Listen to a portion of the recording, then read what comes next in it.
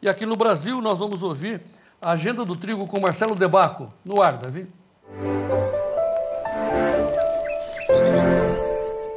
Bom, pessoal, tudo trigo por aí, aqui tudo trigo.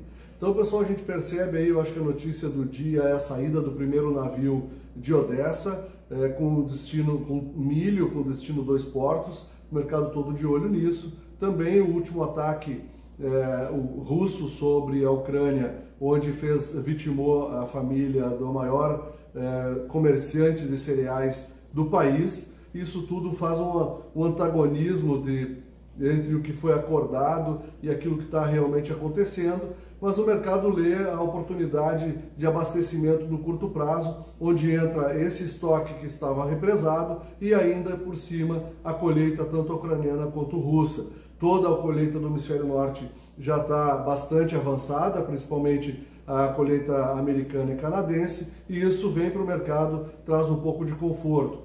Os tenders continuam acontecendo, as tomadas de preço pelos grandes compradores continuam acontecendo e as ofertas, os fechamentos de preço têm acontecido na casa dos, 500, dos 405 a 415 dólares por tonelada, custo e frete destino. Isso dá uma, um panorama de como o mercado faz as correções dos preços, e tanto no disponível quanto no mercado futuro.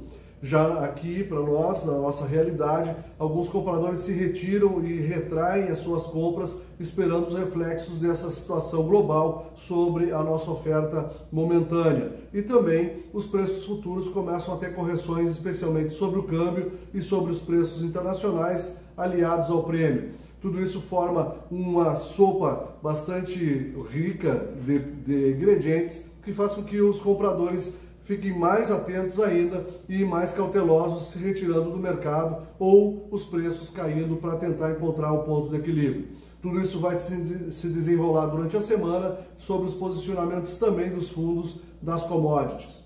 Forte abraço, fique conosco. Muito bem, obrigado aí, Marcelo. Marcelo estava na festa com a Rita, fantástico, muito obrigado.